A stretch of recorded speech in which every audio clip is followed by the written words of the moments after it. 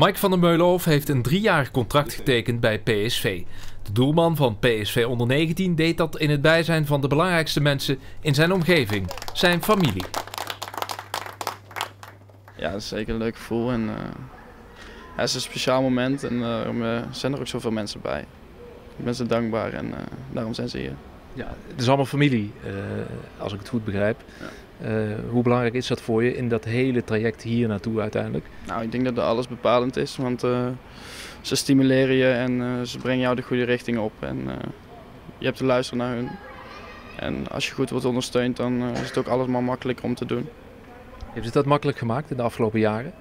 Nou ja, kijk, het is niet altijd even makkelijk geweest, maar wel, je weet dat ze het beste met je voor hebben. En daar heb je in je achterhoofd. En dan maakt het niet uit wat ze zeggen, maar dan luister je wel. Je bent hier al vanaf 2012. Uh, je tekent nu voor drie jaar. Wat is uh, de volgende stap in jouw ogen? Wat moet dat gaan opleveren? Ja, natuurlijk hopelijk een hele mooie carrière. En uh, natuurlijk hier in één spelen. Dat is natuurlijk de, het plan voor nu, voor mij in ieder geval. En ja, voor mezelf gewoon zo best mogelijk presteren. En mezelf zo goed mogelijk doorontwikkelen nu. Is dat voor een keeper misschien wel moeilijker dan voor een veldspeler? Omdat het maar om die ene positie gaat, om hier uiteindelijk terecht te komen? Ja, de plaatsen zijn beperkt, maar dat weet je van tevoren. Alleen, uh, ik denk dat uh, als je kwaliteit genoeg hebt, dat het niet uitmaakt. Van der Meulenhof is zelfverzekerd en heeft de komende weken bij PSV onder 19 nog veel om voor te spelen.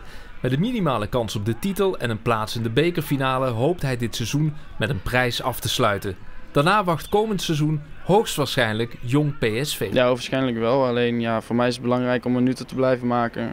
Zowel in onder 19 waar ik volgend jaar nog uh, uit de voeten kan als bij jong. En uh, gewoon door blijven ontwikkelen op dit moment, ook op trainingen. En uh, dat is gewoon heel belangrijk nu op dit moment.